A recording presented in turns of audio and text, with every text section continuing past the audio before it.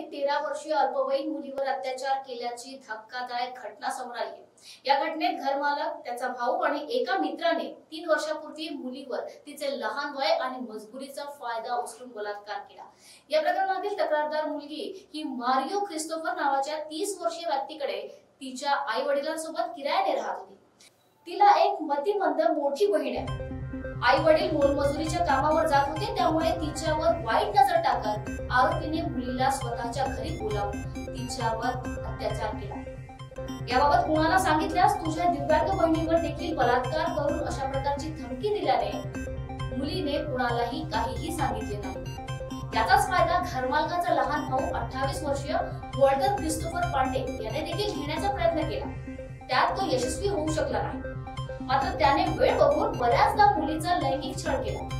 या घटनेची चाकूर शेजारी राहणाऱ्या अजय टाले नावाच्या पंचवीस वर्षीय युवकाला होताच त्याने मुलीला ब्लॅकमेल करून तिच्यावर अतिप्रसंग केला. मुलगी कुणाला काहीही न सांगता शांत बसली. मात्र काही दिवसांपासून शेजारची मुलं आणि आरोपींनी मुलीला अश्लील भाषेत शिविगाळ करण्यास सुरू केली.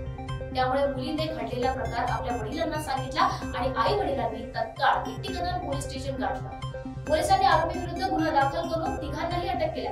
न्यायालयाने या घटनेतील आरोपींना नागपूर सेंट्रल जेलमध्ये रवाना केले. तर गिट्टीकदर पोलीस या घटनेचा पुढील तपास करीत आहे तिला मारण्याची धमकीच्या वडिलाला मारण्याची धमकी बहिणीला बहिणीसोबत बलात्काराची धमकी अशा हिला धमक्या भेटत गेल्या. म्हणून ही मुलगी भेली. आणि आठ वर्ष दहा वर्षाच्या मुलीला काय करते मला सांगा? सगळे म्हणतात की दहा वर्षाच्या मुलीला सगळं कळते मेसेज करणं कळते तिच्या संग मुलासोबत काय करायला पाहिजे हे सगळं कळते. पण हे चुकीचं आहे.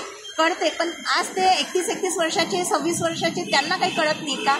मुलगी म्हणजे काही र- रस्त्यावरची आहे. मुलगी रस्त्यावर सुरक्षित नाही आहे शाळेला सुरक्षित नाही आहे. घरी सुरक्षित नाही तर मुलीने जायचं कुठे? आज त्या मुलांनी हिच्यासोबत जे काही केलं हे खूप गलत केलं.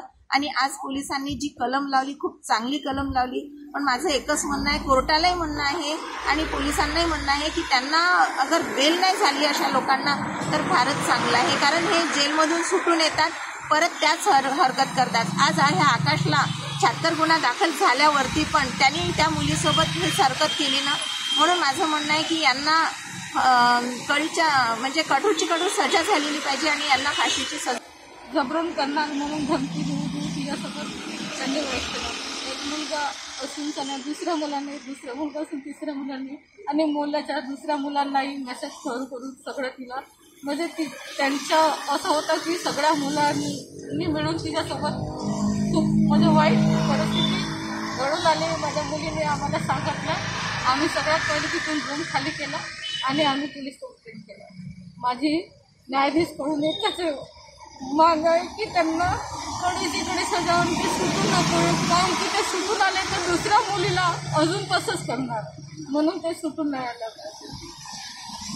ते ठाण्यामध्ये ज्यावेळेस तुम्ही स्टेशनमध्ये गेले. तुम्हाला काय रिप्लाय मिळाला? पोलीसवाले काय? मॅडमने रिपोर्ट वगैरे लिहिली. चांगल्याने आहे. आणि मंद बुद्धी पण आहे. तर माझी मुलगी ही मोठी मुलगी ना हे लहानवाली मुलगी पण शाळेमध्ये जात होती पण त्यावेळेला छुट्टी लागलेली होती. तर मग माझी लहान मुलगी मोठ्या मुलीला बघायसाठी घरी जात होती. तुम्हाला तर उशिरा कसं माहित तर उशिरा उशिरा सांगण्याचं कारण आहे की माझ्या मुलीला ते लोक धमकी देत होते. कि अगर तूने किसी को बताई तो हम तेरे बड़े बहन के साथ में ऐसा कर लेंगे वो तो किसी को नहीं बताने वाली है। और दूसरी बात सर वाल्टर ऐसा मनाता माझ्या मुलीला कि मेरा भाई तो पुलिस में है अगर तू बताएँगे तो मेरा कुछ नहीं होने वाला है।